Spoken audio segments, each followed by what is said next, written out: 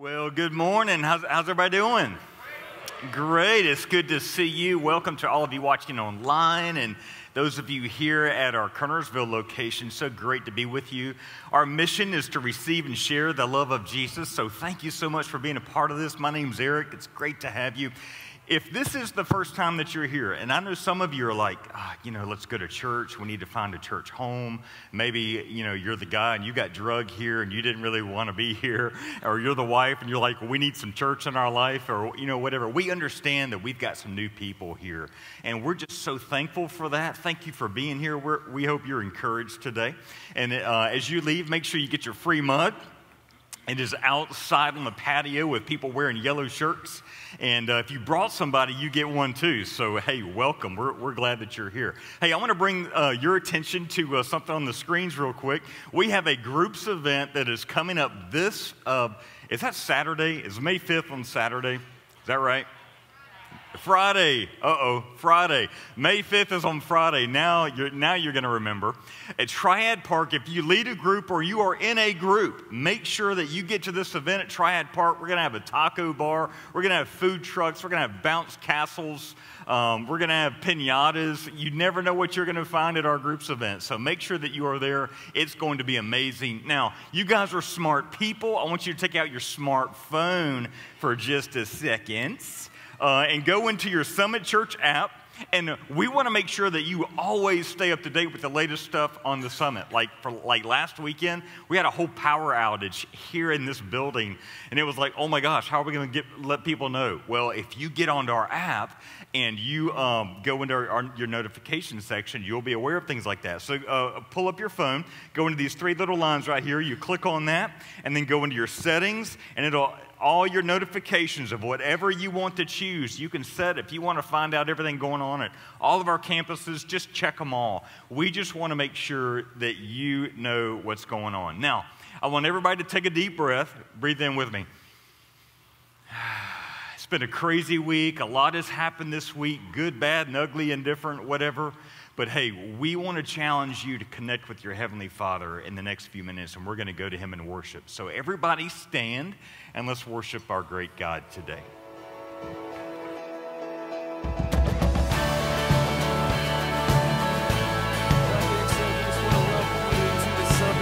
Anthony, and this is. Uh, just want to invite you guys to sing with us. Let's sing loud.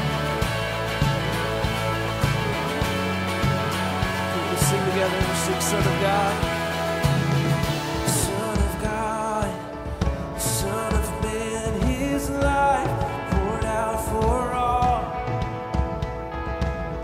see his hands, see his scars, his love.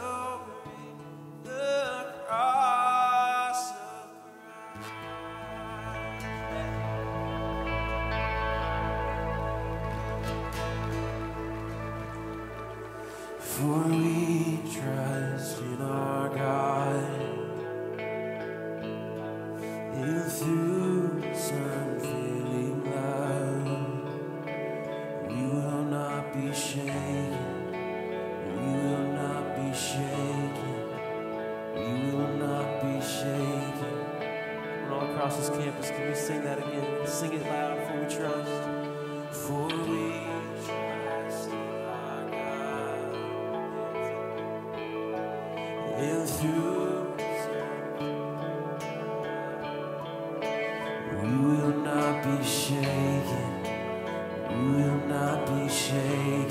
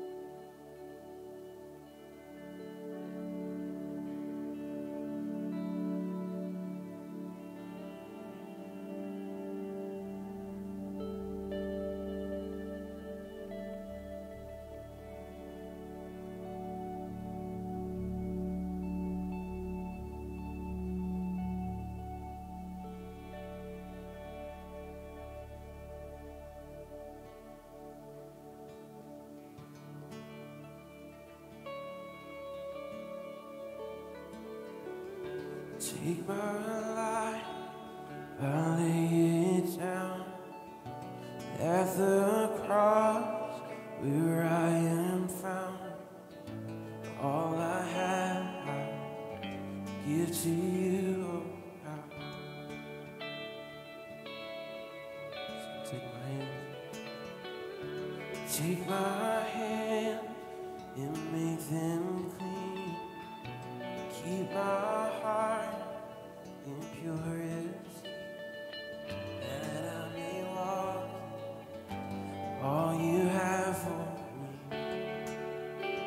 Sings together.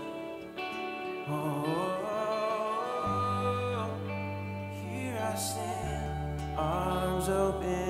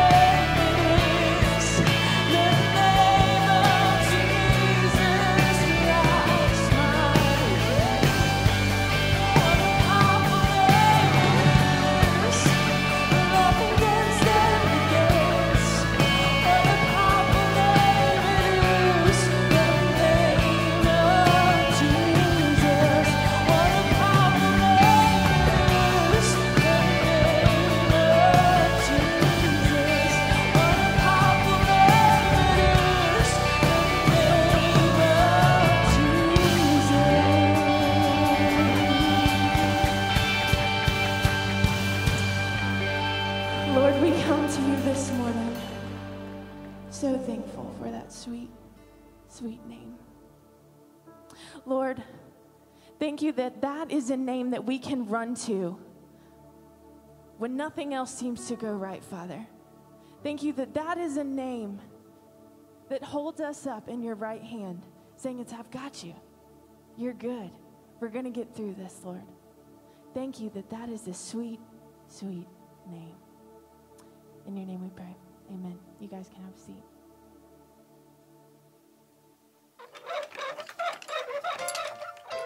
Oh, What's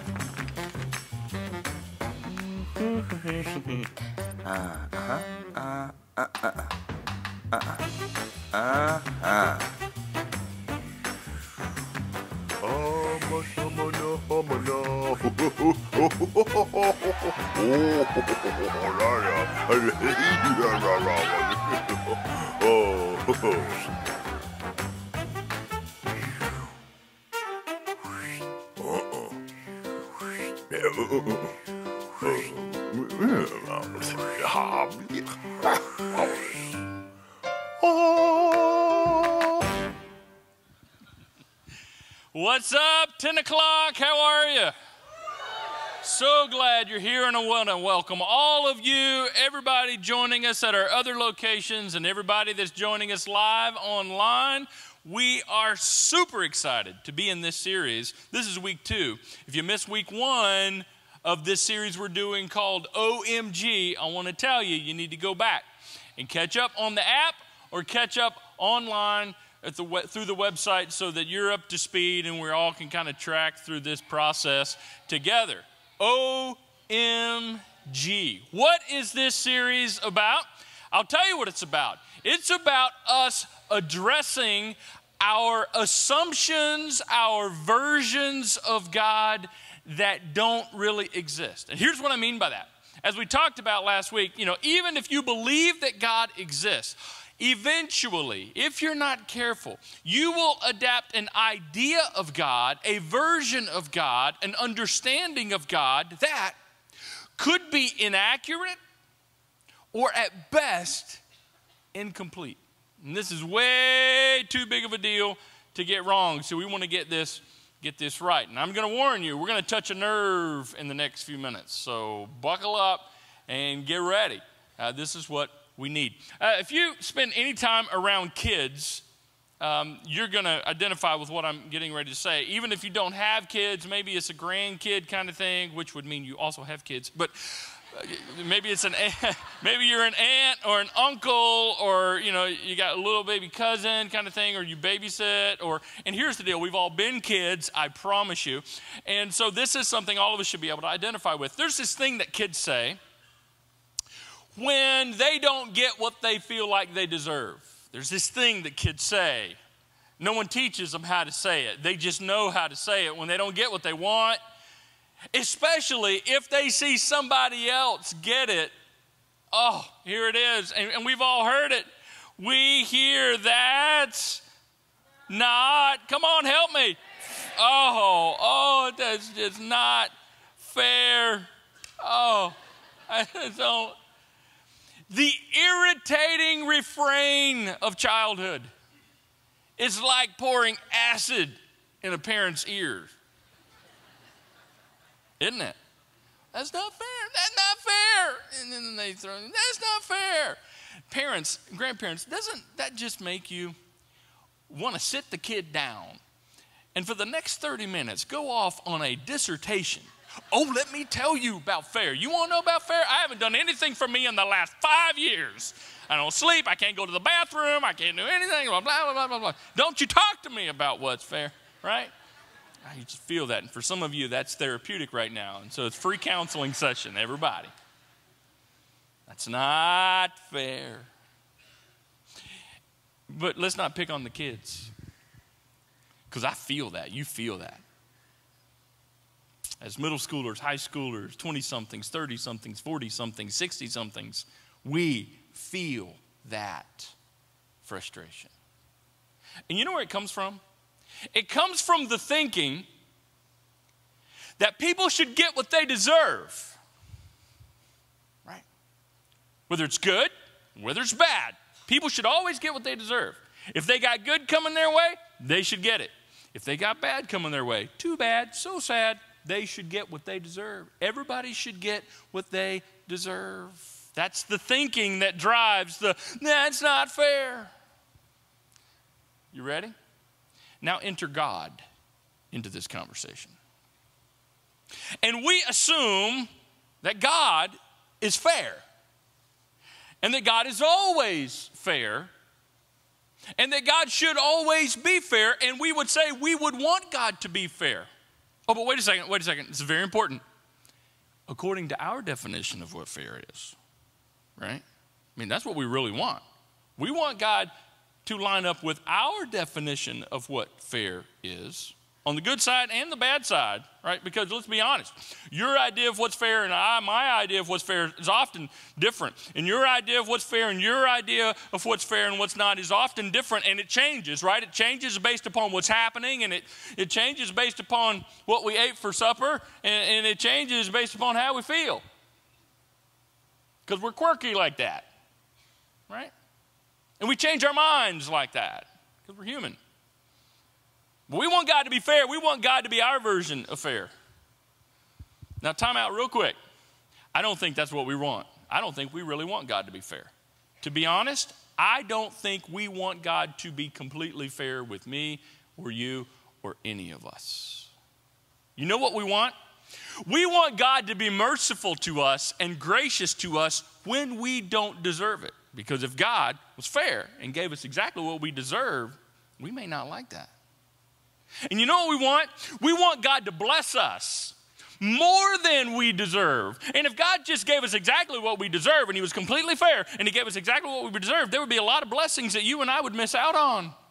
Have you ever been blessed beyond what you deserve? If God's fair, then you don't get that. So you and I really don't want, we don't want God to be completely fair. Well, actually, and this is getting really personal, what we want is we want God to be completely fair to everybody else except us. And God, you give them what they deserve. And you give me more than what I deserve, better than what I deserve, right? We're, we're just all over the place. We assume that God always does what is good, what we think is good, right? And what we think is fair, and what we think is right, and what we think is appropriate. In response to all good things, and in response to all bad things. Essentially, we have adopted a nice guy view of God. That God always does what the nice guy does.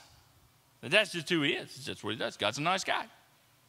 And as the nice guy God, he is kind and he is loving and he is good to people when they deserve it. And he is wrathful and he throws down his judgment when people deserve it, according to our definition of what people deserve. You mean you got to be honest? We use ourselves as a point of reference. We talked about this last week. And we use each other as a point of reference. And then we get frustrated with God. We say, hey, that's not fair. And we assume God should always do what is good and right and fair and appropriate, but it's always run through our own filter. And here's how we know we do this. Here's how we know we embrace this inaccurate, incomplete view of God. Because eventually, something's going to happen.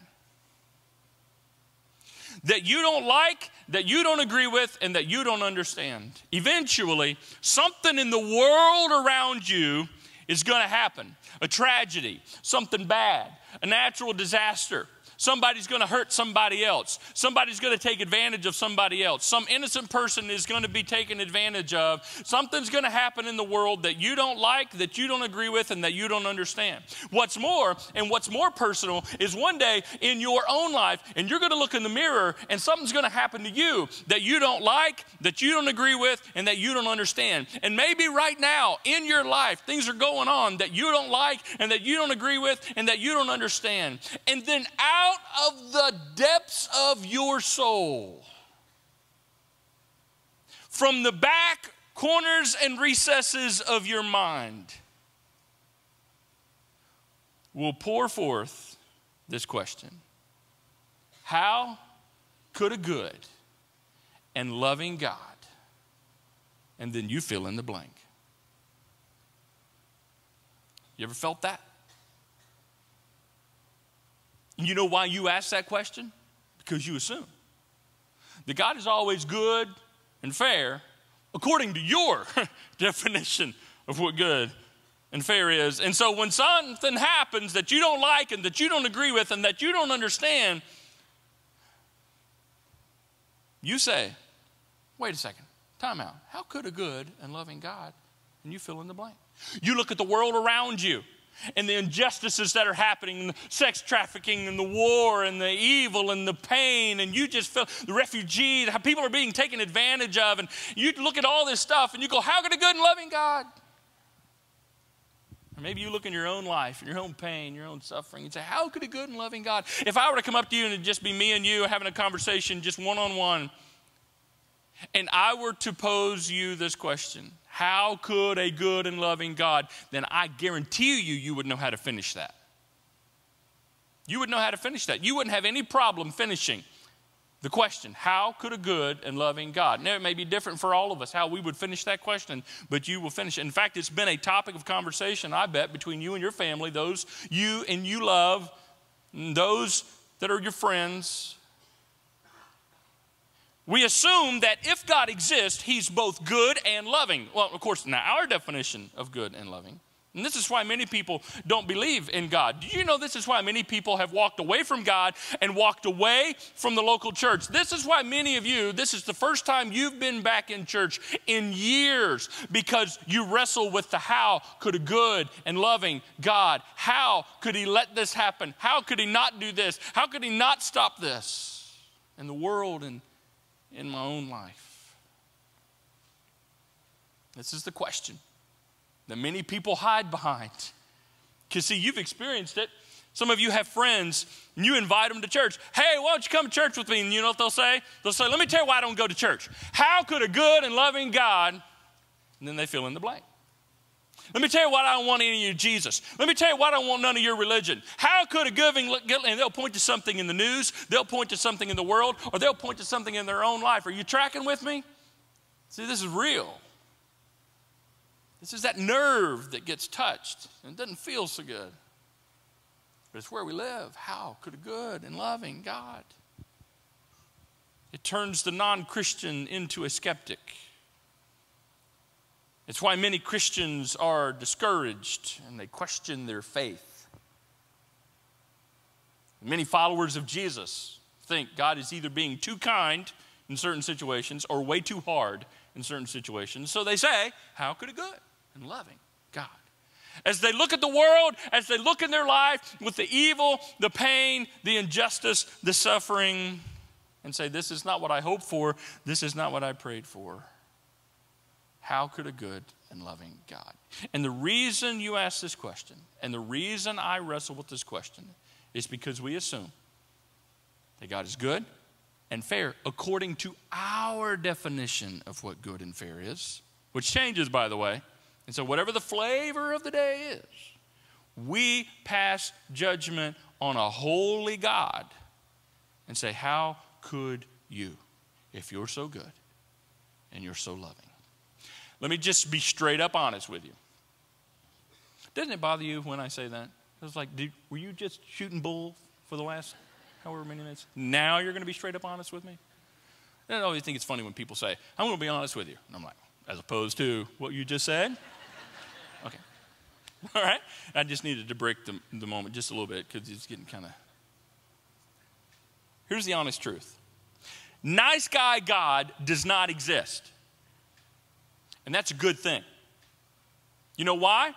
Because nice guy God is a limited view of God. And it limits God to our understanding and our opinion and our experience. And we talked about last week, He's holy, He is totally other, set apart, above and beyond anything we could fully grasp or understand. So when we take a holy God, and put him in our terms and use our terminology and explanations to put him in a box and say, How could a good and loving God? You see, that version of God does not exist. What's the correct view? Glad you asked. What's the correct view of a holy God? It's better than nice. God is just. Just what? Just. God is just. And this is what this means God is morally right. And here it is God is fair. Hold on. But according to his definition of what fair is, which is really the definition that counts. Ultimately, that's the definition that matters most. God is just, which means he's better than nice. He's greater than just nice. He's better than just good according to our definitions. No, he is just. Let me show you. It's all throughout the scriptures, and it's so clear time after time after time again. We see this. In the Old Testament, we find that God, He is the rock. I love that. He is the rock. His deeds are perfect. Everything he does is just and fair. He is a faithful God who does no wrong. He is just and upright. How just and upright he is. He does no wrong. Not by me, not by you, not even when we think he has. You wouldn't come out and say it. I may not come out and say it, but how many times have we felt? I think God missed it on this one. I don't get why God's doing this. I don't get why God's allowing this. This makes no sense to me. So we take a holy and just God and we run him through our own filter. And what pops out on the other side is how could you, God? How could a good and loving God? And what the scriptures teach us, we need to be very careful there because he is perfect and he does no wrong. In the, and later on in the Old Testament, King David writes, For the word of the Lord holds true. And we can trust, I love this, we can trust everything he does. Everything. Even when we don't like it, even when we don't agree with it, even when we don't understand it, we can trust everything he does and he loves whatever is just, there's that word again, and good, his definition of good. The unfailing love of the Lord fills the earth. David says it again later on in the book of Psalms. He says, The Lord is righteous, here's his word again, in everything he does.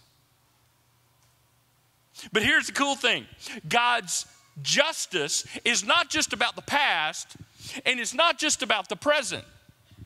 God will ultimately prove that he is just.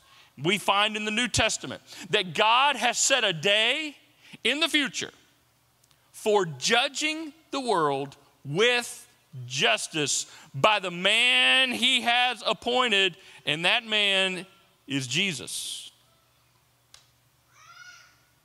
There is a day in the future and I don't know when it is, and you don't know when it is, and we don't know when it's going to happen. But there will be a day in the future when God says, I'm going to set it all right. And anything that hasn't been made right is going to be made right. And anything that is left undone, I'm going to finish. And anything that's not left final, I'm going to finalize. There is a day in the future when God will give his son Jesus the opportunity to judge all good and all evil.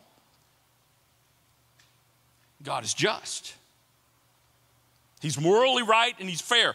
According to his definition, not by ours, which is a good thing because we keep changing our minds what we think is right and what was good and what's fair, don't we? Now, see, God is a rock.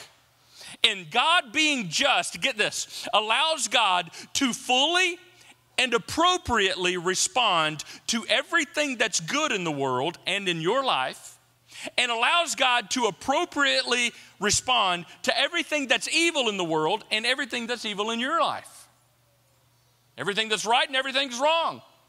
God can appropriately and correctly respond to all of it. If God needs to be kind and patient, God can be kind and patient. If God needs to be wrathful and quick about it, He can do that. Because that's the kind of God He is. I want, I want to share something with you, and you might want to write this down. You might want to take a picture of it, because this is something you need to remember. When you are looking at a situation in the world that's causing you to go, well, if God is just, how could a good and loving God or if you're looking at a situation in your life and it may be a relationship thing, it may be a health thing, it may be a job thing, a money thing, or a tragedy thing, you know, anxiety, depression thing, personal, has something to do with somebody else that's close to you that you love, and you find yourself wrestling with how could a good and loving God? Then understand this He is just. And whatever it is you're looking at that brings up the question of His justice, just remember this three things. Not yet, not fully, not finally. Not yet, not fully, not finally. God is just. He will settle the score. He will take care of it. He will make it right. He will deal with good. He will deal with evil. And as you look at it, it could be you're just not seeing it yet. Not yet. But don't assume He's not going to do it. And I can promise you, not fully, because God's not done. He's still at work. And we've been told, we just read it, that the day's coming in the future when He will set it all right. So, not finally, not yet, not fully, not finally. Now, here's why this is important. Are you ready? When we get frustrated with God, nice guy version of God, you know why we get frustrated? Because we want God to be just now. Now, dang it. Right? Whatever you say. We look at things in the world and we want God to act now. And when He doesn't act on our timetable, we assume, how could a good and loving God? We want God to fix it now. We want God to make it right now. We want God to bless the way we want it to bless now. We want God to judge the way we want Him to judge now. I'm going to say to you, it's a good thing He doesn't do a lot of this now. You're assuming that that would always work out well for you. Could it be that God's wanting to be patient? And isn't that a good thing? Well, well, well, well, yeah, I, I guess. Well, I mean, it's a good thing when it's pointed in your direction, isn't it? But see, we, want, we don't want God to be patient with everybody else. You know what the scriptures tell us? That God is patient with everybody. He doesn't want anyone to perish, He wants everyone to come to repentance. The reason it's not happening now could be that God is wanting to be patient to give them an opportunity to turn back to Him. It could be that God is not being just in a way that you can see right now because God is letting things simmer because He knows there's a better way to deal with this later. There's a better way to make this right later. Not yet, not fully, not finally. You know, the reason we really struggle with this, just real quick, I got to show you this. The, the reason we really struggle with this, this whole thing of God being just, there's a reason for this. And just follow me real quick. When, when we think of the word just, we automatically think of the word justice, right? Okay?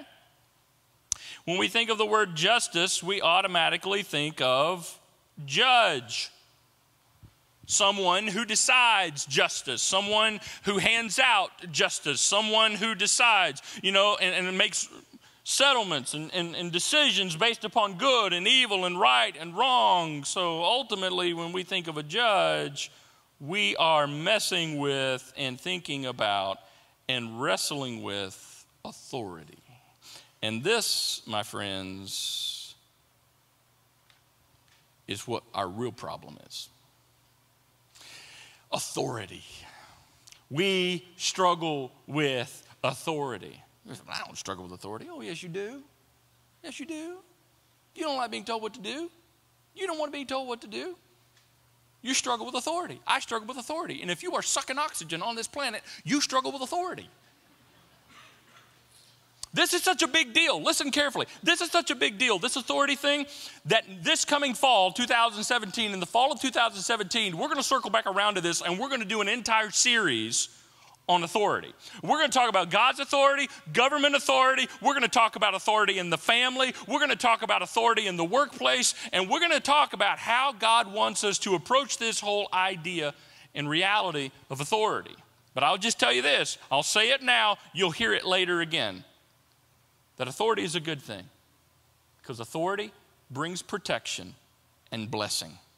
There is a protection and a blessing when you are under authority, and I am under authority, and everyone is under authority. That only comes because we're under authority. But you know what this is really about? That God is just the justice of God is that He is the judge. He is the ultimate and final authority. He decides what's good, He decides what's fair, He decides what starts, what stops, who goes where, who does what. And so, our question, how could a good and loving God, is really bumping up against the ultimate authority of God. And that is where we struggle. You know why we struggle with it? Because God doesn't always do what we would do. God doesn't always allow what we would allow. And so when God does and allows what we don't like, what we don't agree with, and what we don't understand, what are we going to do in response? I'll tell you this every time, every single time you and I try to sum up God in a box, and fully explain what he does, what he doesn't do every single time. We try to fully understand what God is doing and not, and then we comment on it. It's going to lead to frustration every single time.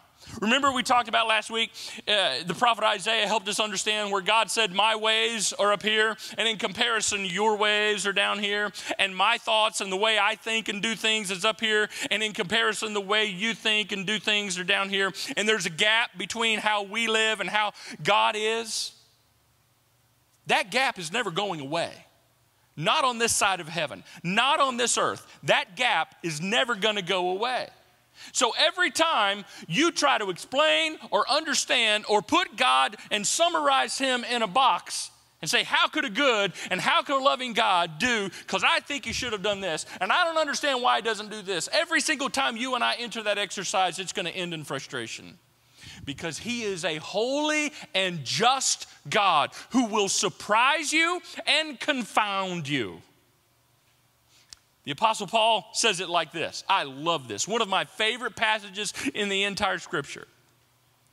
Oh, the depth of the riches of the wisdom and knowledge of God. How unsearchable his judgments and his paths beyond tracing out. So when you try to trace them out, you're going to end frustrated. Does this mean we don't try to understand? No, we're going to try. That's how we're made. We want to understand things, but just understand. We're not going to fully understand. So that brings us to this. How then do we not get attached to this nice guy version of God that doesn't exist? So, how do we then respond to the fact that God is just? Well, here it is. And again, I encourage you Take your phone out, write this down, or take a picture of it. And I leave you with these thoughts God knows exactly what's going on, He knows exactly what to do. and He always does what's best. God knows exactly what's going on. God knows exactly what to do, and He always, always, always does what's best. Whatever it is in your life right now or in the world that's got you asking the question, how could a good and loving God, because you always assumed he's just a nice guy, God, and you may not have said that and you would never call him that, but that's the way you treat him because you're so frustrated with him because he's not doing what you think is good and right and fair and appropriate. Okay, so you've got him in this nice guy category. No wonder you're frustrated. You need to bring that issue to the table and you need to remember God knows exactly what's going on in that situation. Exactly what's going on. Here's why this is important. You and I think we know what's going on. We like to talk like we know what's going on. We want everybody else to think we know what's going on. We got to figure it out, man. That's why I'm so frustrated because if God would have done this and this, and that's why I'm praying, and I don't understand why this and that. Because I'll tell you one thing if they would do this, and if they would do that, and if that over there wouldn't have happened, then this wouldn't be a problem then everything would be set right. I tell you what, someone should listen to me. Right? We think we know exactly what's going on, but most of the time we don't. So be at peace. God knows exactly what's going on. God also knows exactly what to do. Exactly what to do. Now, you and I like to talk like we know exactly what to do we rarely know exactly what we should do. God knows exactly what to do, and He's not done. Not yet, not fully, not finally. Not yet, not fully, not finally. You may have to remind yourself of this this week. Every time you get frustrated, you may have to tell yourself, this doesn't look right because it's not right. Not yet, not fully, not finally. God knows exactly what's going on, God knows exactly what to do. So I'm going to wait patiently. Yeah, everything inside of you and inside of me says, now, now, now, God. Well, maybe God's being patient. Maybe God's waiting to do it better later. See, God knows exactly what's going on in your life. God knows exactly what's going on in the world. Do you think He doesn't see? He sees everything that's good and everything that's bad and misses nothing. He knows exactly what's going on and what to do. And he always, always, always does what is best. Best for you, best for me. He always does what's best, even if it doesn't feel like it's best. Even if you don't like it, even if we don't agree with it, even when we don't understand it. God always does what's best.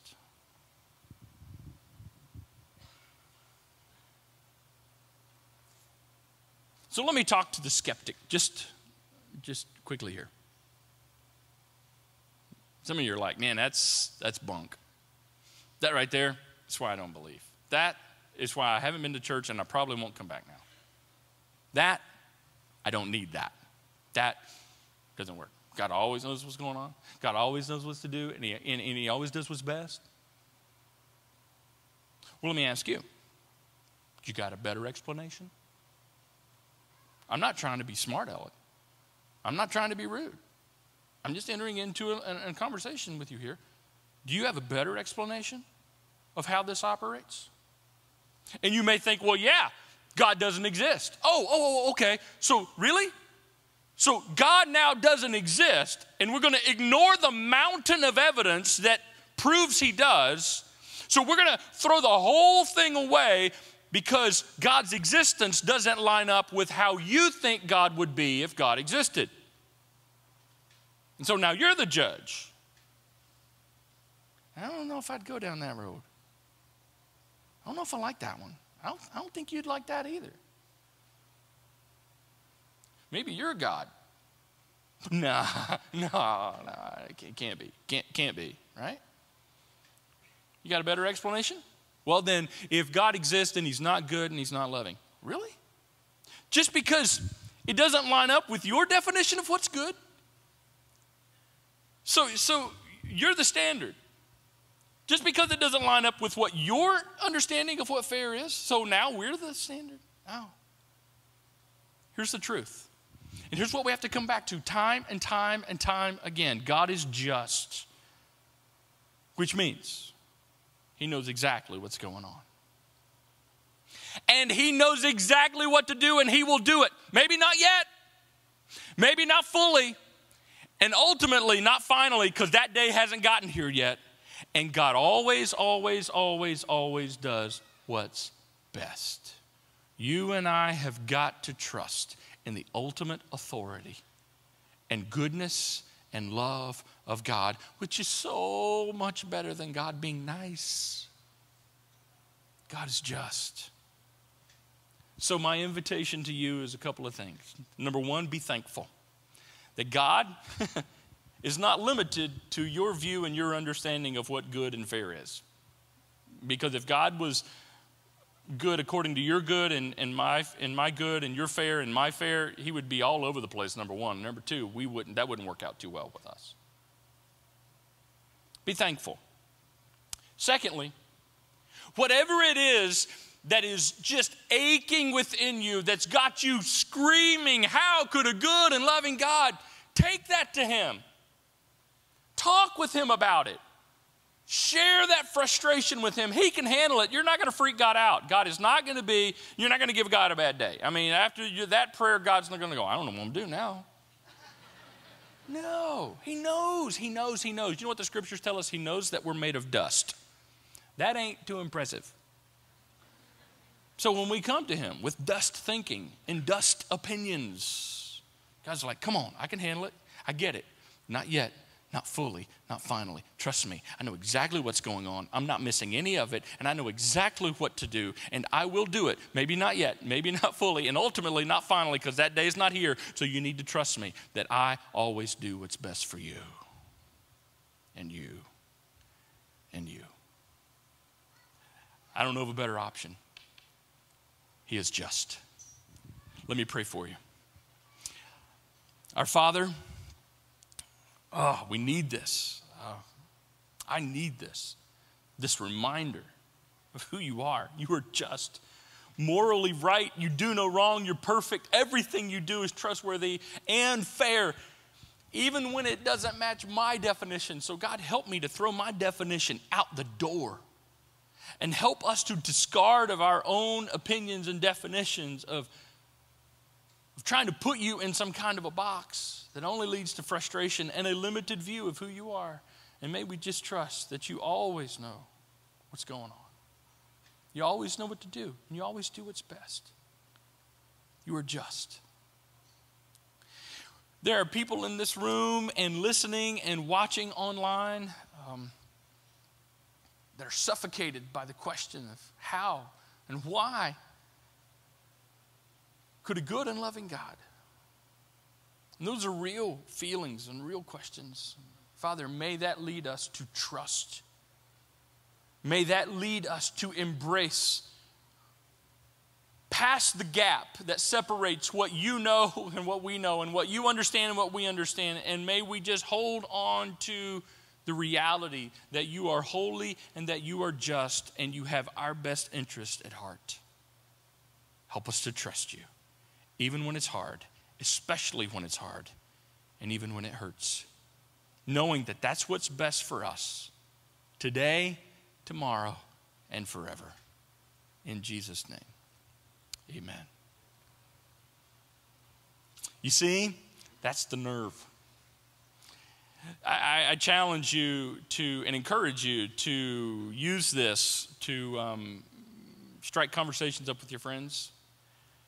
Maybe, you know, talk with them a little bit about this and just, and I know it's uncomfortable kind of thing, but this is reality. This is where we live, and this is why we're doing this series. Next week, I'm going to tell you what's going to happen next week, and then I got to make an announcement, uh, just kind of a last minute thing. Um, next week, we're going to talk about the let's make a deal God. The version of God that we've adopted, where God's a little bit temperamental, but you can strike a deal with him if you know what you're doing. You got to know what you're doing. You got, you got to know how it works, right? And you'd be surprised how many of us operate with that view of God all the time. So we don't need to miss this one.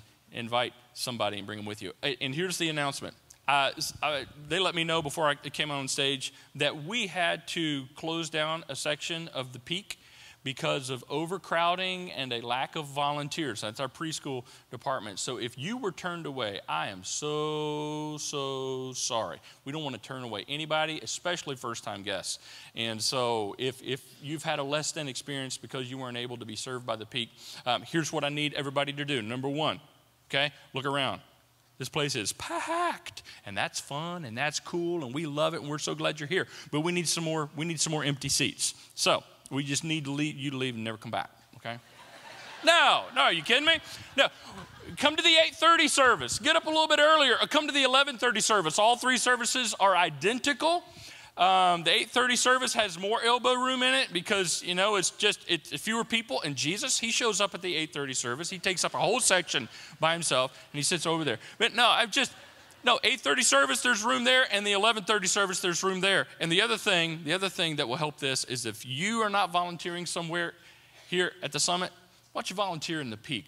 It's a great team of volunteers. Any peak volunteers in the house?